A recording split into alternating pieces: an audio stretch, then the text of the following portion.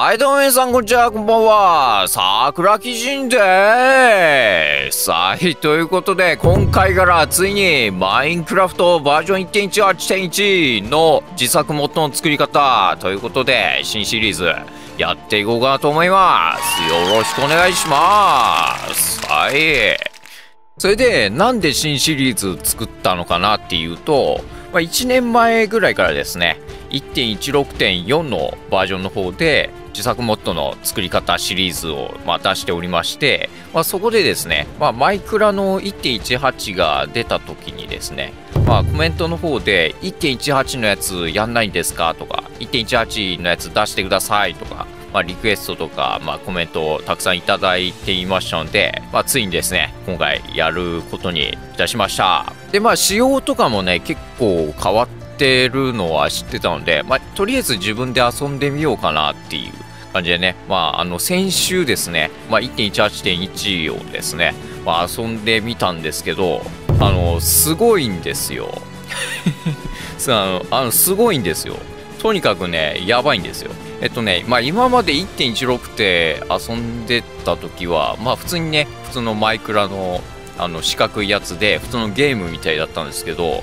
まあ、洞窟がねもう広くなってるっていうことでねあやばいですよあれは。もう普通に現実世界みたいな感じになってて感動してしまいましてですね。これは最新版の1.18.1で自作モッドでね、まあ、遊んでみたらすげえ楽しいんじゃないかっていうことでねやりたくなったのでやることにいたしました。よろしくお願いします。というわけで、これからね、皆さんと一緒に1.18のモッドの作り方やっていくんですけど、えっとまあ、モッドの作り方って検索してもですね、まあ、海外のばっかりで、まあ、日本語で解説されてるやつがね、ないんですよね。まあ、少しはあるんですけど、なんか昔のバージョンのものだったりとか、あとなんか分かりづらかったりとかして、まあ、あんまりですね、モッド制作初心者の方にですね、まあ、優しくない環境となっておりますんで、まあ、今回ですね、俺がですね、まあ、分かりやすいモッドの作り方をやってやろうじゃないかということで、まあ、これね、シリーズやらせていただいております。で、まあ、それなら海外の情報でもいいじゃないかっていう感じなんですけど、まあ、1.18自体がですね、まあ、リリースされてから2ヶ月ちょいということで、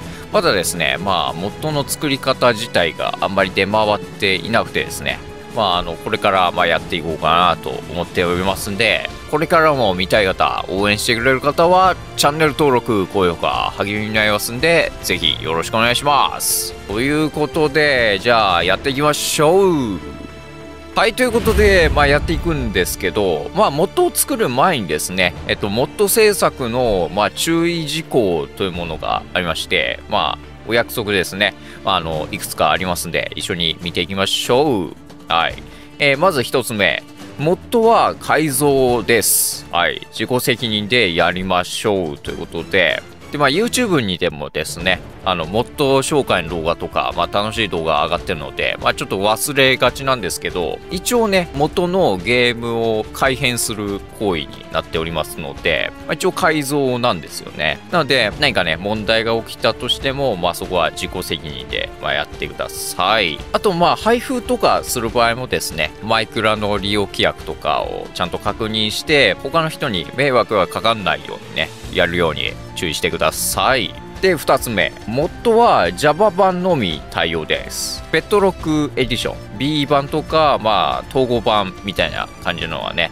まあ、入れられませんので、注意してください。で、3つ目。本シリーズはですね、バージョン1.18.1で、まあ、作っていきます。えっと、他のバージョンですと、モッドのね、コード書いていくんですけど、コードのやつが違ったりとか、あの、そもそもなかったりとかしますので、まあ、紹介するやり方ではね、できない場合があるんですね。なので、まあ、そこのとこはご了承ください。ということで、早速、モッド制作やっていきましょう。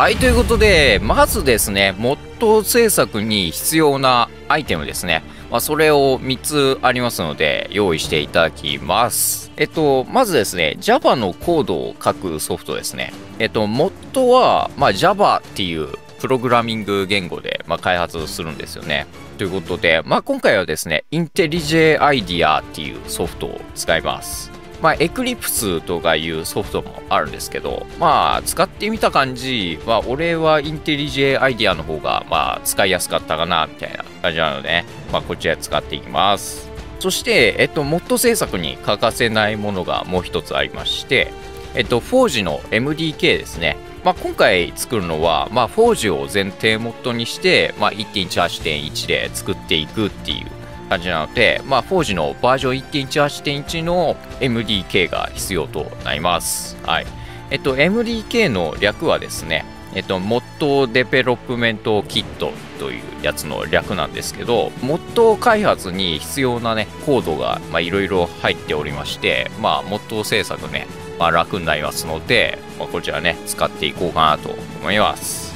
で、えっと、3つ目、ペイントソフトですね。まあ、絵を描けるソフトですね。何でもいいです。えっと、まあ、作ったアイテムとかのね、まあ、テクスチャを作るのに使いますので、まあ、自分がね、使い慣れてるやつで、まあ、ペイントソフトがあれば、まあ、それ使っていただければいいかなと思います。で、まあ、今回ですね、まあ、1年間モッド制作やってきて、まあ、使いやすかったなっていうソフトをね、まあ、4つ紹介するので、参考にしてみてください。でと、まずですね、無料版が3つですね。えっと、まず M クリエイターですね。これはまあ1.16.4の方でペイントソフトとして紹介したやつなんですけど、えっと、これ自体がですね、モッドを作るソフトっていうこともあってですね、まあ、マイクラのテクスチャっぽい、なんかテンプレのやつがね、いっぱい揃ってるんですよね。なので、まあ、テクスチャ作りやすいかな、みたいな感じになります。で、次、エッジですね。高性能ドット A ソフトっていうことで、まあ、結構ね、その界隈では有名なソフトらしくて、まあ、コメントでね、教えていただきました。まあ、使ってみたんですけど、まあ、結構ね、ドット絵書くのにはかなり適していて、かなりね、機能がいろいろ揃っておりました。えっと、3つ目、GIMP っていうソフトですね。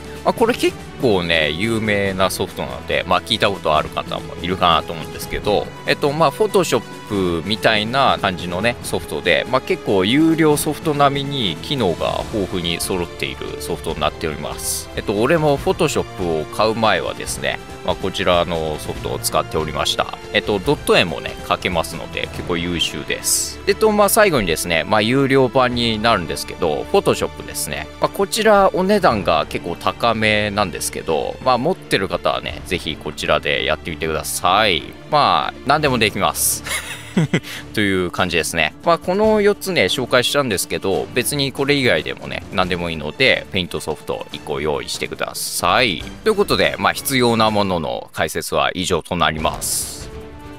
はい、ということで、まあ、ここからね、PC の画面の方で、まあ、先ほど解説した各ソフトのダウンロードとか、まあ、設定の方をやっていこうかなと思います。ということで、まずね、一番やりやすいのが MDK ですね。まあ、そこからいきましょうか。Chrome でも何でもいいんですけど、検索エンジン開いていただきまして、まあ、検索のところにですね、Forge と 4Get 打っていただきます。で、まあそうするとですね、まあ、一番上に Downloads for Minecraft 4G for Minecraft 1.18.1みたいなのが出てきます。えっと、まあ、もっと入れたことがある方はですね、まあ、4G ダウンロードしてくるかなと思うんですけど、それと同じやつを開いてください。で、えっと、バージョンは、まあ、1.18.1を選びます。そしてですね、まあ、こちら、ダウンロードレイテストって書いてあるやつ。まあ、他のバージョンとかだと、なんかダウンロードレイテストとダウンロードリコマンデッドってあるんですけど、まあ、今回ですね、結構リリースから日が経ってないこともあって、まあ、レイテストしかないですね。ダウンロード、レイテストって書いてあるやつの MDK ってやつですね。こちらをダウンロードしていきます。で、えっと、まあ、普通のね、フォージみたいにこうスキップしまして、フォージのね、ZIP ファイルがゲットできます。まあ、一旦ね、これデスクトップに持っていってもらって、とりあえず Chrome はね、消しましょう。えっと、そしたらですね、えっと、エクスプローラーの方を開いてもらいまして、えっと、こちらのローカルディスク、えっと、C ドライブの方ですね。まあ、こちら見ていきます。まあ、ここにですね、まあ、もう作っちゃってあるんですけど、こうやって mods フォルダーっていうのを、えっと、まあ、右クリックで、えっと、新規作成、フォルダーっていうのがありますので、まあ、こういうのでね、えっと、mods ってモッツっていうフォルダをね、1個作ってください。で、まあ、そうしましたら、この mods フォルダ開いていただきまして、まあ、もうごちゃごちゃいろいろ入ってるんですけど、まあ、先ほどね、ダウンロードしてきたこの ZIP ファイルを突っ込みます。で、そうしましたら、えっ、と、こちらのね、今突っ込んだ 4G の1.18.1のやつを、まあ、7ZIP でも何でもいいんですけど、まあ、とりあえずね、回答します。まあ、そうするとですね、まあ、こちらに 4G1.18、まあ、MDK 出てくるんですけど、えっと、こちらの名前をですね、まあ、変えてください。えっと、名前はですね、まあ、数字と、まあ、アルファベットの方がいいかな。まあ、日本語だとたまにバグることがありますので、日本語じゃないやつで、はい、入れてください。今回は1.18.1アンダーバー基準モッドとます。まあ、今回もね、1.18.1で基準モッドを作っていきます。それでですね、まあ、こちらのフォルダですね、まあ、今後使いますので、えっと、こちらのローカルディスクの方戻っていただいて、えっと、こちらの持つフォルダですね、ショートカットを作ってみましょう。え右クリックしまして、えっと、ショートカットの作成っていうのがありますので、まあ、こちらですね、押していただくと、まあ、ここにね、ショートカットを作ることができません。デスクトップ上に作成しますかと出ますので、まあ、こちら、はいを選んでください。そうしますとですね、まあ、こちらのデスクトップ上にですね、MOTS フォルダーのショートカットが出てきます。ということで、まあ、これでですね、4時の MDK の方の設定完了いたしました。ということで、次行ってみましょう。で、まあ、そしたらですね、次、 IntelliJ IDEA の方ですね、まあ、通称 IJ の方を、まあ、インストールしていこうかなと思います。ということで、もう一回、まあ、Chrome 開いていただきまして、えっと、ここにですね、 IntelliJ IDEA と入れます。まあ、そうすると、まあ、 IntelliJ IDEA、JetBrains の人間工学に基づく高性能 Java IDE とか、まあ、書いてあるとかありますんで、まあ、これ押してください。まあ、そうするとですね、まあ、これ分かりやすいですね。真ん中にダウンロードっていうのがあるので、まあ、これ押してください。そしたらですね、えっと、アルティメットバージョンと、えっと、コミュニティバージョンがあるんですけど、まあ、今回ですね、コミュニティバージョンで大丈夫なので、まあ、こちらのダウンロードと押してください。まあ、変な画面出てきますけど、もう勝手にダウンロード始まってますので、まあ、これね、無視していただいて OK です。えっと、そしたらですね、インテリジェアイディアの exe ファイルが、まあ、ダウンロードできましたので、まあ、これ一回デスクトップに持っていって、Chrome の方は消しちゃっていいかなと思います。で、そしたらですね、まあ、このダウンロードしてきた exe ファイルをダブルクリック。えっと、まあ、この画面出てきましたら、まあ、NEXT としまして、まあ、NEXT としまして、まあ、ここの NEXT ですね。えっと、そうしますと、まあ、こんなね、画面が出てきます。えっと、こちらの Create Desktop Shortcut っていうやつですね。まあ、こちらチェック入れてください。まあ、他のやつはね、まあ、チェック入れなくて大丈夫です。で、まあ、そしたら NEXT としまして、えっと、まあ、このままね、インストールと押していただければ、まあ、インストールが完了します。はい、ということで、まあ、インストール完了しますと、こんな感じに IntelliJ IDEA っていうショートカット出てくるかなと思います。ということで、まあ、起動してください。まあ、起動すると、まあ、こんな感じのね、画面が出てきます。えっと、まずですね、まあ、日本語にしたいっていう方はですね、えっと、こちらのプラグインズっていうところをクリックして、マーケットプレイスっていうところを押します。そしたらですね、ここにジャパニーズと入れますと、えっと、ジャパニーズラングエージパックっていうのがありまして、まあ、こちらインストールすると、まあ、日本語になります。で、まあ、インストールしますと、まあ、こちらのリスタート IDE っていうのがありますので、まあ、こちらを押して、まあ、リスタートで押していただければ、まあ、日本語にね、対応されてるかなと思います。まあ、今回はですね、まあ、ちょっと俺が分かりづらくなってしまいますので、えっと、まあ、このままいこうかなと思います。ということで、まあ、プロジェクトをね、まあ、作っていくんですけど、えっと、まずですね、こちらの New Project っていうやつを押していただいて、えっと、まあ、一番上のですね、プロジェクト SDK っていうところ、まあ、ここをですね、まあ、クリックします。で、まあ、そうしましたら、こちらのダウンロード JDK って書いてあるところですね。まあ、これを押してもらいまして、えっと、バージョンは、えっと、17で大丈夫です。マインクラフト1.17ぐらいからかな。えっと、Java のね、バージョンが17になりましたので、まあ、これで OK かなと思います。で、えっと、次、Vendor って書いてあるやつですね。まあ、こちらを、えっと、Eclipse Temlin っていうやつですね。えっと、Adapt OpenJDK の Hotspot っていうやつにしてください。えっと、Eclipse Temlin ですね。はい。まあ、こちらにして、えっと、ロケーションはですね、まあ、最初からいい感じのとこが選ばれておりますので、まあ、これでダウンロードと。よし、OK ですね。で、えっと、このプロジェクト SDK のとこが、テムリンの17ってなってるところを、まあ、確認したら、えっと、こちらのキャンセルを押してください。そしたらですね、こちらのオープンっていうところを押していただいて、まあ、先ほど、まあ、ショートカットを作りましたので、まあ、こちらのショートカットのやつの、まあ、えっ、と、1.18.1基準モッドっていうやつ。まあ、こちらを、まあ、ドラッグしていただきますと、えっ、と、持つフォルダーの1.18基準モッドっていうのがね、まあ、選ばれますので、まあ、これで OK と。で、まあ、そうしましたらですね、これちょっと読み込まれますので、まあ、これが完了するまで、まあ、少し待ちます。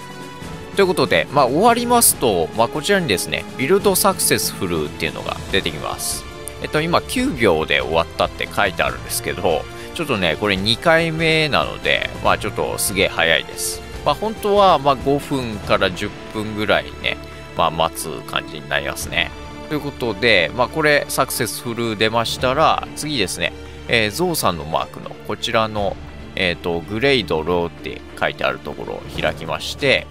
えっと、こちらのタスクスって書いてあるところですね。まあ、こちら開きまして、えっと、フォージグレードルランズっていうところですね。またここ開きまして、えっと、そしたらですね、ここにゲンインテリジェランズっていうのがあるんですね。まあ、こちら押してください。えー、ダブルクリックですね。押してください。で、まあ、こちらのね、待っていただくと、まあ、最後にですね、えー、ビルドサクセスフルっていうのが出てきます。えっと、そしたらですね、えっと、こちらの、なんか丸いリロードマークみたいなやつですね。まあ、こちら押していただきまして、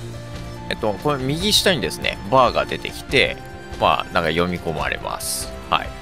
で、まあ、これ読み込み完了したら、で、上のところですね、1.18の基準モッド、ゲインテリジェランズってなってるところを押すと、まあ、ランクライアントっていうのが増えていますので、まあ、こちらランクライアントでください。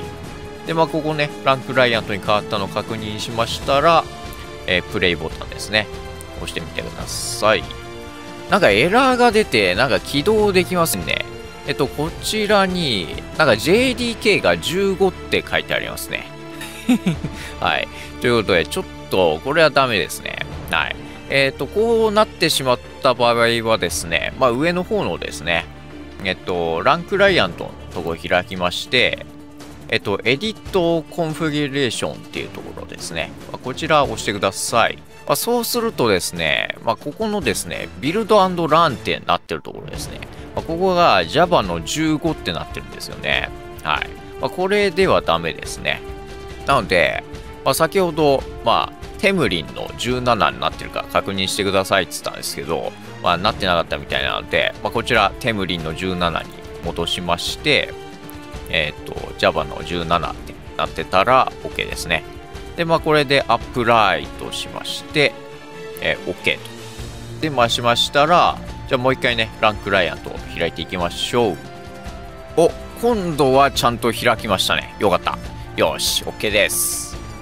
はい、開きましたね。えっ、ー、と、まあ、ワーニング 4G ベータと書いてあるんで、まあ、1.18のバージョンはね、まだ 4G がベータ版なので、まあ、ちょっと動作が不安定になる可能性があるかなと思うんですけど、まあ、これからね、アップデートをどんどんされていくかなと思いますので、まあ、こちらのね、ベータ版も今後直せていけたらいいかなと思っております。えっ、と、まあ、ちゃんとね、ランチャー開けなかった方は、さっきみたいにですね、JDK のところがバージョンが間違っていないかどうか確認してもう一回やってみてください。で、えっと、まあ、ちゃんとね、4時の、えー、39.0.64、えっと、マインクラフトの1.18.1、はい。えっと、 Mods がね、3つもうすでに入っております。えっ、と、 Mods のところを見てみますと、えっ、と、マインクラフト、フォージ、えっ、と、 Example Mod ですね。まあ、こちら入っております。はい。で、まあ、今後ね、モッド制作は、こちらの Example Mod を、まあ、編集するような感じでね、まあ、進めていこうかなと思いますので、ぜひお楽しみにということで、まあ、やっていきましょう。はい、ということで、今回はですね、まあ、無事、まあ、開けましたということで、えー、っと、マインクラフトバージョン1.18.1、自作モッドの作り方、新シリーズ、開幕いたしました。ということで、まあ、これからね、まあ、1.18.1でも、まあ、もっとね、作っていこうかなと思ってますんで、ぜひ、今後も見たい方、応援してくれる方は、チャンネル登録、高評価、励みになりますんで、よろしくお願いします。あとはですね、この動画で何かお気づきの点などありましたらですね、コメント欄の方で書いていっていただけると、今後ね、元制作の動画、どんどんね、いいものになっていくかなと思いますんで、ぜひよろしくお願いします。ということで、今回も最後までご視聴ありがとうございました。それじゃあ次の動画でまたお会いしましょう。バイバイ。